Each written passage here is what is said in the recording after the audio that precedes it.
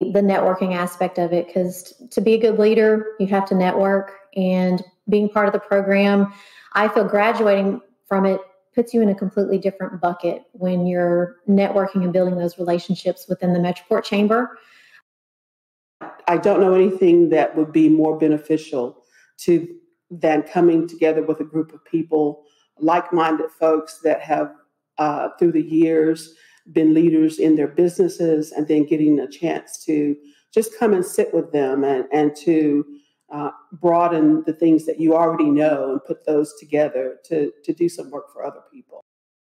And I knew I would get lifelong friends from it, which is something I've experienced in the previous ones. But the interesting thing to me about the Metroport uh, Leadership Program was the nonprofit component. You work in a small group, uh, you really get to know your small group incredibly well as you work to benefit a, a nonprofit.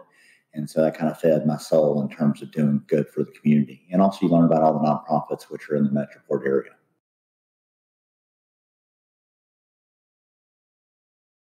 I would highly recommend it. I got a lot out of it, and I, like I said, I think I have friends now who are in the community who I'll know for the rest of my life.